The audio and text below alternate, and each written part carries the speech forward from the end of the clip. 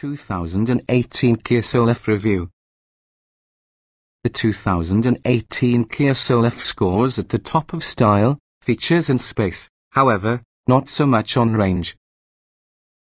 If you're current or potential EV buyer, it's almost guaranteed that getting a lots of electric range is significant. Nobody desires to suffer from range anxiety, each extra mile a car can eke out represents another mile you'll be able to go without burning gasoline within your second car, taking public transit or getting an urgent situation recharge. Well, the 2018 Kia Soul EV could go a few extra miles in 2010 with the debut of the more energy-rich battery, bringing by using it a new maximum of 111 miles. That's up from 93 miles.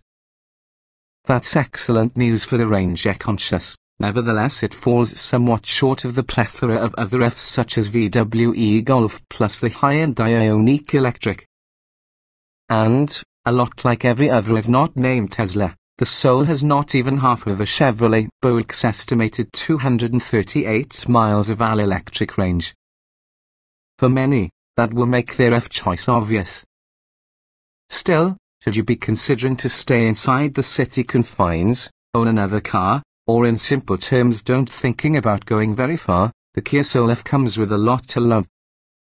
For starters, it arguably is a great deal more character and design than the Bolt and the majority other EVs. Like the gasoline Kia Soul on which it's based, it possesses a handsome quirky exterior, a classy cabin, and also a body style that's pretty reminiscent of the small SUV.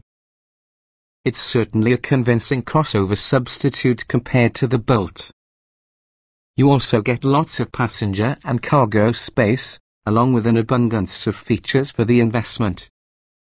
Basically, precisely the same things that make regular Soul so appealing also affect the EV, and when range isn't everything, we presume it's definitely worth a peek. Notably, we picked the 2018 Kia Soul EV as one of best electric cars for this coming year. What's new? For 2018, the Soul EV gets a far more energy-rich battery power, increasing its consist of 93 miles to 111 miles. Get by far the most basic and lowest priced Kia Soul EV it is possible to. Given its range deficit compared to the Chevrolet Bolt, you may as well take the maximum amount of advantage in the Soul's considerably cheap point. Plus, it is not like a base Soul can be a stripper model, you get a heated tire and seats, satellite radio and, together with the base EV versus the Californian Eve, an 8-inch touchscreen which includes a variety of other tech goodies. Trim levels and features The 2018 Kia Soul EV is, because the name suggests, the all-electric version from the Soul. Though not marketed consequently, that car is comparable in size and the concept to subcompact SUVs. So maybe the EV. There are three trim levels, EVE, the bed space EV and EV++. All have generous standard equipment, however the top trim's luxurious extras could possibly be worth the extra bucks all use exactly the same 30 kWh lithium-ion polymer battery power and 375 volt electric motor which causes 109 horsepower and 210 pound-feet of torque. The EVE is sold only in California. It comes standard having a DC fast charging port, 16-inch alloy wheels, automatic headlights, LED running lights, heated mirror, rear privacy glass, keyless ignition and entry, automatic climate control, a pedestrian warning system, multiple steering modes normal, comfort and sport, a height adjustable driver seat, toe level heated front seats, cloth upholstery, a heated leather wrapped controls, a 6040 split folding back seat, a rear view camera, Bluetooth, one USB port, as well as a six speaker sound system having a 5 inch color display, a media player interface, an auxiliary audio jack and satellite radio. The base EV could be the starting point for all those Soul EV pers outside California. It adds better looking 16-inch wheels, mirror turn signal indicators, HD radio along with an 8-inch touchscreen interface that brings by using it integrated navigation, 3G Wi-Fi and UVO eco services, including an app that lets you monitor your vehicle's charge, look for a charging station, lock and unlock doors, and adjust the in-car climate before leaving. The EV++ adds back and front parking sensors, fog lights, power folding mirrors, a fork sleeve trim dash, an auto-dimming rear view mirror, a cargo cover, three level heated and ventilated front seats, heated outboard rear seats and leather upholstery. Exclusive to the Plus could be the Sun and Fun package, which adds a panoramic sunroof, LED interior lighting and speaker lights. A battery heating method is also available in Oregon, Washington and eastern states that sell the Soul EV. Trim tested. Each vehicle typically can be purchased in multiple versions that happen to be fundamentally similar. The S on this review depend on our full test of the 2015 Kia Soul Note, since this test was conducted, the latest Soul EV has brought some revisions, including an increase in range, and also the addition of a standard 5-inch center screen as well as an available panoramic sunroof. Our findings remain broadly applicable to this season's Kia Soul EV. The Soul EV displays run off-the-mill electric vehicle driving dynamics. That's disappointing when compared to gas-powered Soul, that's surprisingly adept handling, braking and acceleration. On the other hand, the Soul EV delivers silent, torque power and aggressive regenerative braking. Acceleration Abundant low-end torque helps make the Soul EV feel sprightly pulling clear of a light, but this eagerness peters out as speeds rise. In testing, a Soul EV accelerated from 0 to 60 miles per hour in 9.5 seconds. That's behind the best all-electric competitors. Braking In traffic, the Soul EV's brake pedal isn't particularly responsive or an easy task to modulate but aggressive regenerative braking is obtainable, and it is usually a boon as soon as you get used to it. The Soul EV's Panic stop distance of 125 feet from 60 miles per hour is all about average for your class.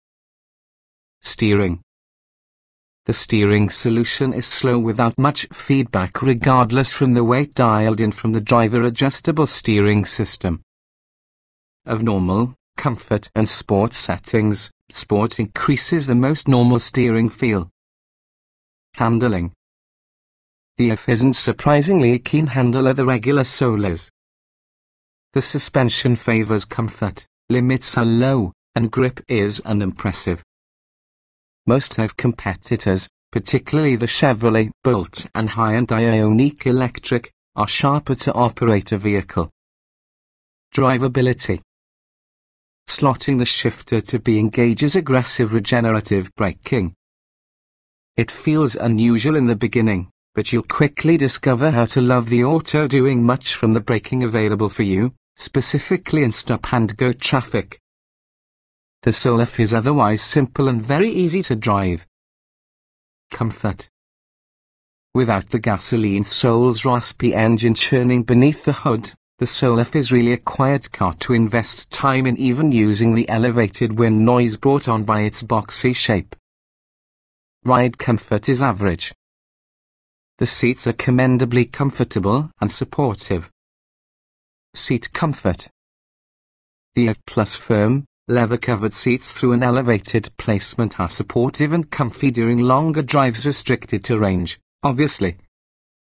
They are much better than what you will find in most small cars. Ride comfort. The added weight with the batteries, smaller wheels and increased tyre sidewall cause an improved ride than the rather jiggly and often harsh ride in the gasoline-powered Soul. Ride comfort is approximately average for that smaller segment. Noise and vibration. The Soul EV's boxy shape creates more wind noise than is usual, and it is exacerbated through the lack of engine noise. You virtually just hear the wind. Still, the insufficient engine noise is welcome. Interior for by far the most part, the Soul EV's interior is user-friendly. All even so the California Only Eve features a likable touchscreen that's relatively ultra easy to use, to as easy entry and exit. Materials quality just isn't as good as we'd like for that price, but it really's not much of a deal breaker. Is useful. All dashboard controls they fit within easy reach. The large touchscreen is usually a model of simplicity due to its audio controls, with big icons and logical menus, but swiping to scroll contact numbers or track lists often brings about errant selections. Getting in jetting out. The seats are put higher than within your average car, making climbing in and sitting yourself down easy. Fears no falling as with a car or climb up as generally in most SUVs. Fears near perfect steep in height. The wide door openings help at the same time. Roominess. The battery placement enhances the rear floor some inches, reducing rear seat legroom and comfort compared with all the gasoline-powered Soul. Still, high-mounted seats in all of the positions yield good room for just a vehicle in this size. It's somewhat bigger than most subcompact SUVs. Visibility The boxy shape makes it very easy to know the place that the vehicle's corners are. Tall windows increase the risk for view forward clear, but thick rear quarter pillars restrict the cross view while reversing. A rear view camera is standard within the Soul EV, as well as the Plus comes with back and front parking sensors. Quality We gave the normal Soul a greater score with this category for the abundant soft touch points and above the average materials and switchgear. However, it costs much less compared to the EV. The Soul EV is well built, in the price range, interior quality is a little under per Utility Some EVs suffer a decrease in cargo space because of their extra batteries, however the Soul EV doesn't. In terms of passenger and cargo room, it lines up more together with the new batch of subcompact SUVs as opposed to compact hatchbacks. Technology All even so the California on leave comes by having an easy-to 8-inch touch screen, remote vehicle controls, Wi-Fi and integrated navigation.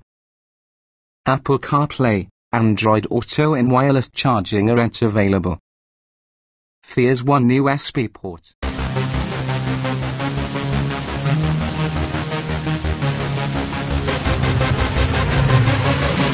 Yeah.